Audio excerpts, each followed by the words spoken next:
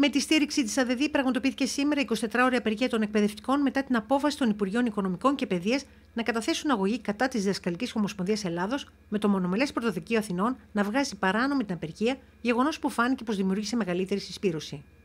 Με μια πρωτοφανή κίνηση στα εκπαιδευτικά και συνδικαλιστικά χρονικά, η πολιτική ηγεσία του Υπουργείου Παιδείας προσπάθησε να κάμψει την αγωνιστική διάθεση των εκπαιδευτικών οδήγησε την απεργία στα δικαστήρια και πέτυχε ακριβώς το αντίθετο. Να συσπυρώσει τους εκπαιδευτικούς στα σωματεία και να έχουμε σήμερα μεγαλύτερη συμμετοχή στην απεργιακή κινητοποίηση και παράλληλα να φέρει και τους εκπαιδευτικούς της δευτεροβάθμιας εκπαίδευσης στην απεργία, την 24ωρη απεργία που επαναπροκήρυξε ΑΔΔ.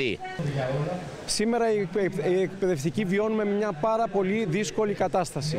Η οικονομική μας εξαθλίωση έχει ξεπεράσει κάθε όριο. Θεωρούμε πραγματικά ότι η κυβέρνηση, η πολιτεία μας εμπέζει, μας προσβάλλει. Ενώ διατείνεται ότι έχουν τελειώσει τα μνημόνια εδώ και πάρα πολύ καιρό, μας εγκλωβίζει οικονομικά τάζοντάς μας 12 ευρώ φιλοδορήματα σε βάθος εξαμήνου και ταυτόχρονα προσπαθεί να μας απομονώσει ε, κοινωνικά ε, με τα μέσα που διαθέτει διαδίδοντας ότι παίρνουμε κανονικές αυξήσεις. Εκπαιδευτικοί πρωτοβάθμιες και δευτεροβάθμιες εκπαίδευσης Λάρισες βρέθηκαν το πρωί στην πλατεία Ταχυδρομείου έχοντας την υποστήριξη και άλλων συνδικάτων.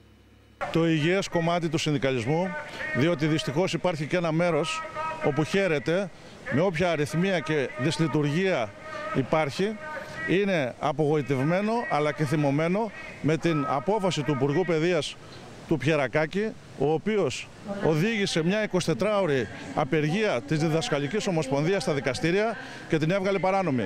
Μια απεργία με αιτήματα καυτά και διαχρονικά όπως η οικονομική αναβάθμιση των εκπαιδευτικών, τα συνταξιδοτικά του, τα φορολογικά του και η στελέχωση με προσωπικό, κάλυψη δηλαδή μόνιμο προσωπικού όλων των κενών που υπάρχουν στην εκπαίδευση, ή δευτεροβάθμια ή πρωτοβάθμια.